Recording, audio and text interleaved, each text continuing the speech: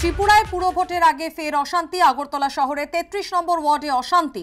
বটতলা বাজার এলাকায় ছেঁড়া হলো তৃণমূল কংগ্রেসের ফ্ল্যাগ ফেস্টুন। বিস্তারিত জানব, আমাদের সঙ্গে টেলিফোন লাইনে রয়েছেন আমাদের প্রতিনিধি প্রসেনজিৎ সাহা। প্রসেনজিৎ, ঠিক কি ঘটনা ঘটেছে? পুলিশ সূত্রে কি খবর?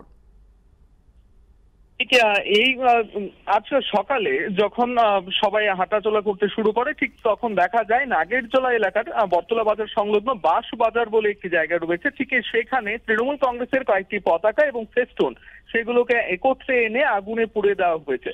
সেটা নজরে আসে তৃণমূল কংগ্রেসের প্রার্থী, তেত্রিশ নম্বর ওয়ার্ডের যিনি তৃণমূল কংগ্রেসের প্রার্থী রয়েছেন রাকেশ রায় সে ঘটনাস্থলে আসে, তৃণমূল কংগ্রেসের অন্যান্য কর্মীরা ঘটনাস্থলে আসেন এবং আসার পর তারা অভিযোগ করেন যে একেবারে সেটা বিজেপি আশ্রিত দুষ্কৃতীদেরই কাজ এবং তৃণমূল কংগ্রেসের নেতৃত্ব বিশেষ করে তেত্রিশ নম্বরের ওয়ার্ডের যিনি প্রার্থী রয়েছেন, তিনি দাবি করেন যে একের পর এক এই ঘটনাগুলো থেকে স্পষ্ট হয়ে গেছে যে বিজেপির কর্মী সমর্থকরা আক্রান্ত হয়ে গেছে এবং তৃণমূল একেবারে আতঙ্কিত হয়ে গেছে বিজেপি এবং তৃণমূল কংগ্রেস যেভাবে জনভিত্তি অর্জন করতে সক্ষম হচ্ছে, তাতে করে তাদের যে আতঙ্কের কারণ এবং সেই কারণে তৃণমূল কংগ্রেসের প্রচার সজ্জা নষ্ট করার একটি জঘন্যতম ঘটনায় তারা সংগঠিত হচ্ছে বলে দাবি করে তৃণমূল কংগ্রেস। এই বিষয়ে পুলিশের বক্তব্য যে এই কারা করেছে সেটা এখনও পর্যন্ত নিশ্চিত নয়। কিন্তু ঘটনাটি খতিয়ে দেখা হচ্ছে, তদন্ত করা হচ্ছে খুব দ্রুত হয়তো দুষ্কৃতীদের বিরুদ্ধে আইনি ব্যবস্থা গ্রহণ করা হবে বলে পুলিশ জানিয়েছে। প্রসেনজিৎ তুমি আমাদের সঙ্গে থাকো, যে খবরের দিকে আমরা নজর রেখেছি, ত্রিপুরার দিকে নজর রয়েছে আমাদের। ত্রিপুরায় পুরো ভোটের আগে ফের অশান্তির অভিযোগ উঠছে। আগরতলা শহরের তেত্রিশ নম্বর ওয়ার্ডে ফের অশান্তির ঘটনা ঘটে। বটতলা বাজার এলাকায় ছেঁড়া হলো তৃণমূল কংগ্রেসের ফ্ল্যাগ এবং ফেস্টুন আপনারা সেই ছবি দেখতে পাচ্ছেন। আমাদের প্রতিনিধি প্রসেনজিৎ সাহা আরও একবার যোগাযোগ করে নেব তার সঙ্গে। প্রসেনজিৎ, যেমনটা তুমি বলছিলে যে ফের অশান্তির ঘটনা ঘটেছে, তৃণমূলের ঠিক কি অভিযোগ? পাল্টা বিরোধীদেরই বা কি প্রতিক্রিয়া? কি জানতে পারছ? তৃণমূল কংগ্রেসের অভিযোগ হচ্ছে যে যেভাবে তৃণমূল কংগ্রেস একের পর এক জনভিত্তি অর্জন করতে সক্ষম হচ্ছে, ঠিক তাতেই শাসক দল বিজেপি আতঙ্কিত হয়ে গেছে।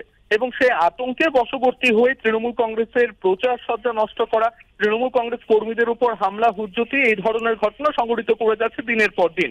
অপরদিকে শাসক দলের বক্তব্য হচ্ছে যে তৃণমূল কংগ্রেস একেবারেই জনভিত্তিহীন হয়ে রয়েছে, তাদের সাংগঠনিক শক্তি বলতে তেমন কিছু নেই এবং সেই জায়গায় শুধুমাত্র প্রচারের আলোতে থাকার জন্য শাসক দলের বিরুদ্ধে একের পর এক এই ধরনের অভিযোগ করছে এবং প্রচার সজ্জা নষ্ট যে প্রসঙ্গ, সেটা নিয়ে পুলিশের দাবি যে এই ঘটনাটি তারা খতিয়ে দেখছেন।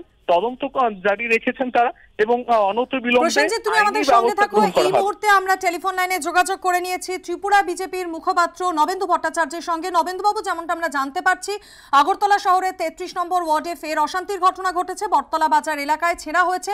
তৃণমূল কংগ্রেসের ফ্ল্যাগ ফেস্টুন এমনটাই অভিযোগ। কি বলবেন? অভিযোগটা তো করেছে অভিযোগ তো করবেনই। অভিযোগ করাই সার কারণ অভিযোগ থেকেই তারা রসদ সংগ্রহ করছেন। তারা জানেন, লোকের সমর্থন নেই।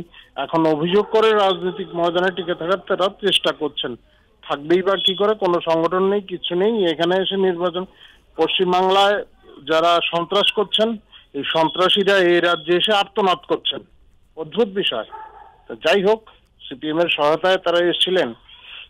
এখন এখানে এসে এই সমস্ত করছেন। আর বেশি দিন সময় নেই, জনগণ জবাব দিয়ে দেবেন, সব চুকে যাবে।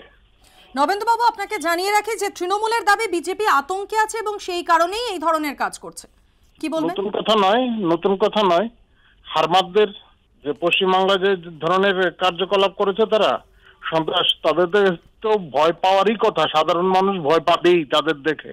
এবং নিজেদের আবার বাঘ টাক বলেন বিভিন্ন সময়, তবে জঙ্গলি জানোয়ার যদি প্রকাশ্যে চলে আসে, তাদের রাখার জন্য আমাদের এখানে ব্যবস্থা আছে, সিপাহী জলা। যেখানে বন্য জন্তুদের রাখা হয় দেখার জন্য, সবাইকে দেখার জন্য। ধন্যবাদ নবেন্দুবাবু আমাদের সঙ্গে কথা বলার জন্য।